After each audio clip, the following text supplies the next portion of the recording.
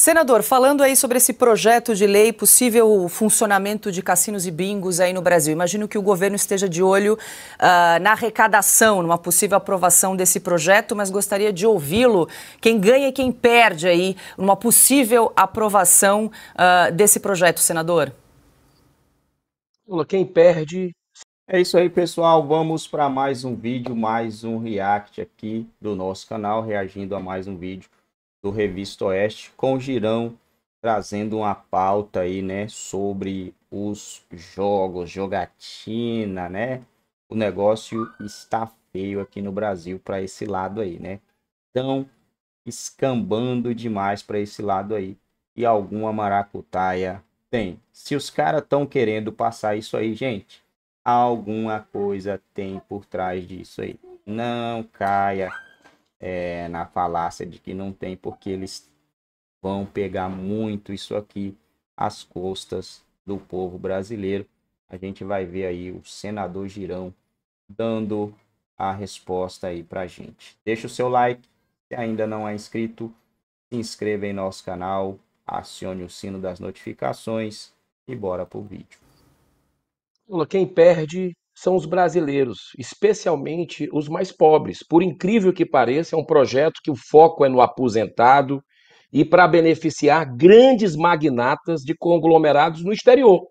Né? Então, não gera nova receita, vai canibalizar é, do, do comércio, do serviço da região, não gera novos empregos pela mesma razão. Inclusive, o Ministério do Trabalho nos Estados Unidos mostra que a indústria do jogo paga 40% menos, inclusive.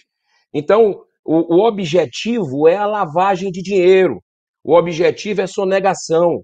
O objetivo disso, e me deixa assim muito estarrecido com a velocidade desse projeto, né, que poucos brasileiros estão sabendo.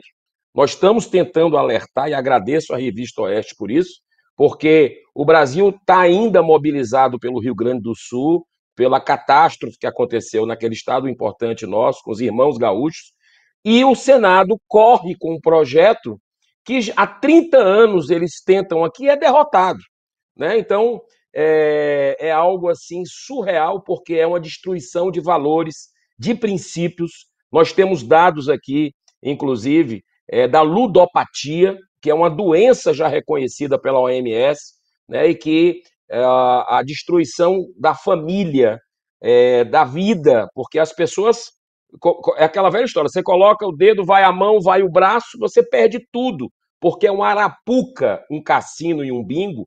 Você é muito jovem, Paula, mas eu vivi um pouco essa época que o Brasil tinha, tinha bingo liberado, e da década de 90, mais ou menos, e você viu, viu o estrago, o escândalo de corrupção, e as pessoas, inclusive, atentando contra a própria vida, porque perdiam o emprego, perdiam as coisas em casa, começava a vender para sustentar o vício, depois perdia a família e chegou ao ponto de atentar contra a própria vida. As estatísticas mostram a criminalidade aumentando, onde se tem esse tipo de coisa, e o Brasil já tem problema demais. Né? Junto com o jogo vem tráfico de, de droga, vem tráfico de arma, Vem prostituição, e eu sou de um estado do Nordeste, que a gente sabe bem o que é isso, né? Prostituição infanto-juvenil. Porque se o, se o cassino é liberado na França, por exemplo, por que, que o cara vai amanhecer num belo dia? Ah, me deu vontade de jogar, eu vou para o Brasil.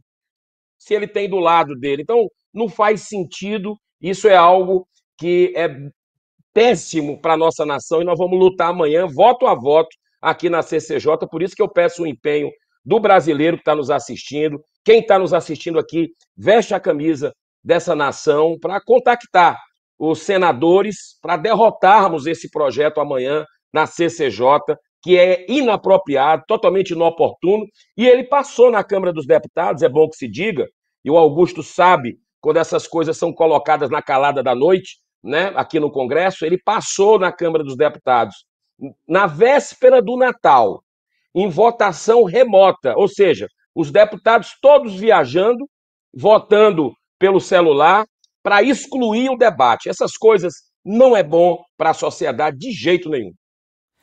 Senador, vou incluir meus colegas aqui na entrevista. Silvio Navarro. Senador, boa noite. Prazer revê-lo. O senhor falou que o projeto ganhou velocidade no Senado. E a gente sabe que quando um projeto ganha velocidade é porque o lobby já vem bem amarrado. Não à toa passou na Câmara na virada de um feriado de Natal. É possível dar nome aos bois e identificar qual, qual setor tem feito esse lobby pesado? E a gente sabe que não é cassino. Isso é uma falácia. Cassino no Brasil é uma falácia. É jogo do bicho, isso é bingos, isso é máquina de caça-níquel e é lavagem de dinheiro do crime organizado. Crime organizado e da corrupção, né, Silvio? Esse filme a gente já viu no Brasil recente, nos escândalos que aconteceram é, com políticos muitas vezes envolvidos. Né? E o lobby é pesado. O lobby anda forte nos corredores aqui e pode ter certeza que não é o interesse da sociedade. Aliás, muito pelo contrário. O objetivo é privatizar o lucro de magnatas para o prejuízo, socializar o prejuízo é, da população. Né? Então, assim, para cada dólar arrecadado, e aí eu quero dizer para vocês, é, esses conglomerados levam, convidam parlamentares para viajar, para mostrar os seus hotéis, é, de cassino, essa coisa toda. E eu tenho os dados de livros, por exemplo, The Gambling in America, né, que é uma, uma publicação de vários artigos mostrando o aumento do suicídio nos Estados Unidos, porque para sustentar o vício aumenta a fraude, aumenta é, é, o endividamento, e eu quero dar um dado de primeira mão para vocês, uma pesquisa recente mostra que 100 reais do Bolsa Família, atenção, 100 reais do Bolsa Família, em média do brasileiro, já está sendo torrado por apostas esportivas. Que hoje eu, sou, eu fui presidente de um clube de futebol, do Fortaleza, e posso dizer para você que esse projeto é danoso, passou por aqui no Senado no ano passado, em seis meses, seis meses, já tem uma tragédia social instalada, com as pessoas se endividando, né? E, e geralmente a, a, as mais pobres, porque o visual para apostar, você não consegue assistir futebol mais. É aposte, aposte, aposte na tela, na, no gramado, na camisa do time. Então é algo surreal que a gente está vendo, que é o azar do futebol, porque essas pessoas vão ficar sem dinheiro para pagar o próprio sócio torcedor. E cassino e bingo, esse dado está no livro Gambling America, a cada um dólar é, que é tributado, que é arrecadado para o Estado, você gasta três com custos sociais. Custos de segurança pública, que aumenta, custos de saúde mental, e hoje é um grande problema que nós temos depois da pandemia, né? e custos também com a própria fiscalização. Então, esse argumento de que as pessoas que, que, que querem liberar o jogo colocam, ah, não, mas está ilegal, tem em várias partes do Brasil, tem que legalizar mesmo. Não, você vê o próprio cigarro. O cigarro, você tem aí 40% do cigarro consumido no Brasil é contrabandeado. Né? Então, se você legalizar, você vai dar mais propaganda para viciar as pessoas. Né? E eu repito, essas pessoas que caem nesse tipo de armadilha, aquelas que, que têm um sonho de ganhar dinheiro fácil. E, e para ganhar dinheiro tem que ter trabalho. Né? Então, é uma ilusão que é vendido para o dono da banca, que sempre ganha, se dá bem. E o povo brasileiro perder, e aí vem uma questão que nos preocupa. Eu nunca vi, Silvio, uma mobilização assim, unindo. É, a PGR tem duas notas contra, a, a COAF, o COAF, tem nota técnica contra também, a Associação dos Delegados da Polícia Federal é contra a liberação da jogatina. É, os, os, os, auditores fiscais do Brasil, da Anfip, também tem nota técnica contra, sem falar nas religiões do Brasil. A CNBB tem nota contra, os espíritas têm nota contra, os evangélicos sempre trabalharam contra, mas o lobby aqui está fazendo a votação, você vota a voto. Voto a voto. E amanhã eu peço a atenção do povo brasileiro, 10 horas da manhã, nós vamos definir na CCJ, e se Deus quiser, com a mobilização de vocês, junto aos senadores, nas redes sociais, você pensa que senador não, não, não vê rede social? Ele vê. Por isso que a gente conseguiu grandes vitórias na semana passada, derrubando vetos, é, como por exemplo da saidinha, é, evitando dinheiro público para mudança de sexo, para aborto, e também o veto da liberdade, que nós conseguimos derrotar, é, a, a, conseguimos manter o veto do presidente Bolsonaro na época, que não criminalizava a opinião no Brasil. Essa é a verdade. Então, é, é importante a mobilização, que as pessoas entrem nas redes dos senadores e peçam, coloque a sua posição sobre essa ameaça que é a volta da jogatina de bingo. Depois de tudo que aconteceu, querem colocar 800 bingos no território nacional. Isso é surreal e a gente não pode admitir mais problemas no Brasil. Nós estamos conversando com o senador Eduardo Girão, Adalberto Piotto.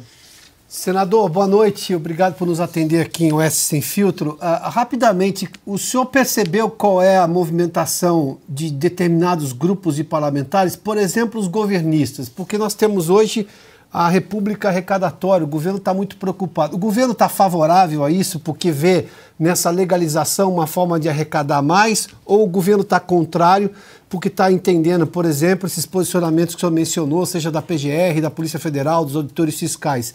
Qual é o posicionamento aí, tanto de grupos de oposição, como também ah, de governistas em relação a esse projeto? Outro, você sabe como é que funciona aqui dentro. O jogo é bruto, né? Então, o governo não tem uma posição oficial. Você lembra que na época que acabaram os bingos no Brasil, foi o Lula, né, que era o presidente na época, e e tanto, era tanto escândalo de corrupção que ele teve que fazer um decreto para acabar. É, o governo Lula foi a favor, e eu alertei isso muito no ano passado, na tribuna, nas comissões, contra as apostas esportivas. E o governo bancou isso, é, achando que iria gerar uma arrecadação, e o custo social é muito maior. Né? Então a gente está vendo aí o próprio Bolsa Família, é um governo que se preocupa realmente com o social? É um governo que está preocupado com os pobres? Né? Então está aí o resultado em seis meses, 100 reais do Bolsa Família já está consumido pela aposta esportiva. Isso é a ponta do iceberg. Se a gente libera amanhã, Deus nos livre, esses bingos e cassinos no Brasil, aí vai o resto. Vai é, é, é uma tragédia sem precedentes que a gente vai ver pela ganância. Eu, o governo não se manifestou sobre esse assunto. Eu fiz um discurso na tribuna do Senado e percebi que senadores governistas vão votar contra. Não posso dizer todos. Eu espero que esse governo tenha um restinho de, de sensibilidade, de humanidade, é, de moralidade, um restinho para é, se posicionar contra, trabalhar contra esse projeto. Não é só lavar as mãos como Pôncio Pilatos.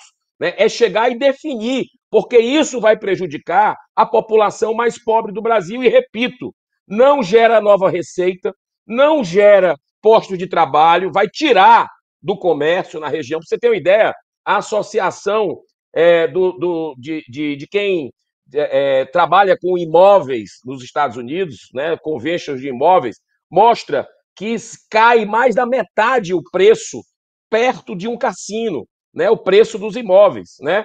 Os próprios corretores, a associação dos corretores de imóveis. Então, é, quem ganha com isso é apenas o dono da banca. E é um projeto feito para grandes conglomerados virem ao Brasil. Né? Então, assim, é, em detrimento de quem é, vai gastar o dinheiro, e geralmente quem gasta esse dinheiro é quem tem esse sonho, essa coisa do vício inclusive, que acaba viciando. Não gera turismo, outro fato muito importante. Para você ter uma ideia, a meca do, da jogatina no mundo qual é? É Las Vegas. Eu tive lá algumas vezes para pesquisar em universidades, conversando com especialistas, e você vê, por exemplo, que as pessoas que vão para Las Vegas, apenas 4%, segundo o Convention Bureau é, lá da, da, da de, Las Vegas, vão para jogar. A maioria das pessoas vão para os eventos, para conhecer o Grand Canyon, para conhecer ali, é, é, o, o para fazer turismo também, né, nos shows que acontecem lá. Então, jogar. Agora você vê o nível de situação que está lá de criminalidade, prostituição, né? É, é, é, algo que é surreal o que a gente vê e esse tipo. O Brasil não precisa disso para crescer. Para crescer no turismo, o Brasil precisa de quê? Precisa de investimento em segurança urgente, não flertar com o crime e, e, pelo contrário, endurecer com o crime. O Brasil precisa de infraestrutura. Nós temos tudo para estar no topo do mundo do turismo. Não precisamos liberar esse tipo de, de cassino, de bingo, de coisas que vão trazer mais problemas do que soluções para a nossa nação. Nós conversamos com o senador Eduardo Girão. Bom, pessoal, é isso aí, meu povo. Rapaz, a gente sabe o que, que vai virar isso aí, né? É tudo isso que eles disseram: lavagem do papel. É... Quem tá querendo aprovar isso daí? Vai ter o por fora ali. Rapaz, os caras voltaram à cena, né? Como diz o Ciro, Ciro não, o Alckmin, né? voltou à cena do crime, tá organizando tudo. Só que dessa vez os caras não vai voltar para fazer do mesmo jeito, né, gente? Eles vão tentar fazer diferente, vão tentar organizar melhor, né, para poder se safar aí no final das contas. Então, o que que eles, que que vamos fazer? A gente tem que fazer diferente. A gente tem que ter uma estratégia para não cair no mesmo erro, né? Porque o que, que a gente pode fazer para não cair no mesmo erro? Ah, a gente tem que fazer isso, isso, isso e aquilo.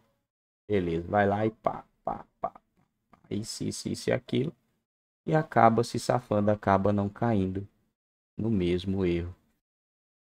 É triste, né, gente?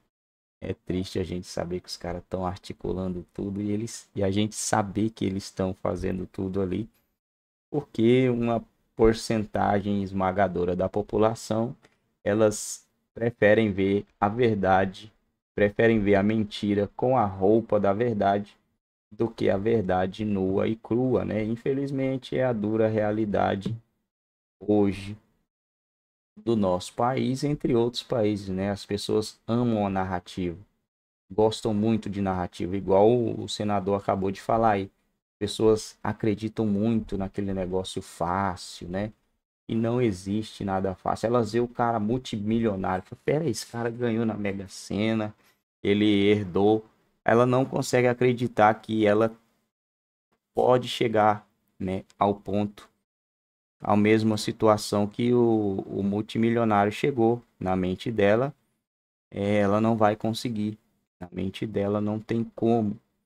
Porque ela não vê, peraí, minha carteira assinada eu nunca vou conseguir realmente né, com a carteirinha assinada, infelizmente, não é aquilo ali para sempre. Agora, quem tá no, no, no, pesadão aí, no, na pegada aí para empreender, ele vai ter variações, né? Um mês ele vai fazer nada, outro mês ele vai fazer um ano de trabalho. Aí no mês ele faz metade, no outro ele não faz nada, no outro ele faz mais um ano. É assim que funciona quem tá aí, né? Então, vai, às vezes o cara vai passar um mês numa depressão. É, ai meu Deus, não aconteceu nada, não vendi nada, não fiz nada. No outro mês já, bom, rebenta tudo. Mas tem que ter a coragem, né? É difícil. Tem que ter a tal coragem. Que é muito difícil, é para poucos. Porque aqui no Brasil as pessoas nascem com essa ideia, com essa ideologia plantada na cabeça delas. Mas o que podemos fazer, né? Os caras aqui estão com aquela cordinha ali controlando ó, os ensinos, as instituições, ó. Não, tem que falar. Eu lembro quando eu estudava, gente, a professora falava: você tem que estudar para ser alguém na vida. Tem que estudar, assinar carteira para ser alguém na vida. Você tem que assinar carteira. Assinar carteira, assinar carteira, assinar carteira. Você acaba caindo nesse trem aí. Eu, eu em nome de Jesus, né? Se Deus é, abençoar que eu nunca mais precise assinar esse, essa tal de carteira aí, eu nunca mais quero mexer com isso. Enquanto você está preso ali, você não, não posso perder, não posso perder. O seu patrão fala, você não pode perder. Ó, oh, tá feio, tá feio, tá feio. Não posso perder, não posso. Foi que você perde, que você vê que se você vender uma água ali no sinal, você vai ganhar mais em, em um período três vezes menor do que você tinha na carga horária o dia inteiro do seu trabalho. Você, pô, é sério que eu posso vender uma água ali com chocolatezinho, um caldo de cana e eu vou ter esse salário aqui cinco, seis vezes maior do que eu ficava o dia inteiro e eu nem vou trabalhar o dia inteiro? Pô, aí você entende que você estava sendo programado para alimentar o sistema.